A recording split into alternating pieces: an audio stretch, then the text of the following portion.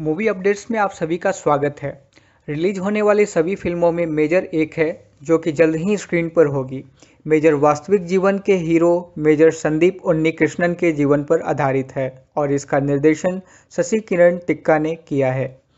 Film में अदिवी शेष, सई मांजरेकर और शोभिता धूलीपाला प्रमुख भूमिकाओं में हैं। साथ ही प्रकाश राज, रेवती, मुरली शर्मा और कई अन्य सहायक भूमिकाओं में हैं। संगीत श्री चरण पकाला द्वारा रचित है, जबकि छायांकन वामसी पच्ची पुलिस द्वारा किया गया है, और इसे विनय कुमार सिरिगिनिदी और कोडती पवन कल्याण द्वारा संपादित किया गया है।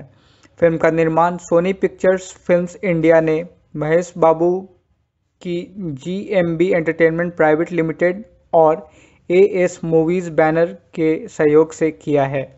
मेजर एक द्विभाषी फ़िल्म है जो तेलुगु और हिंदी में एक साथ बनी है।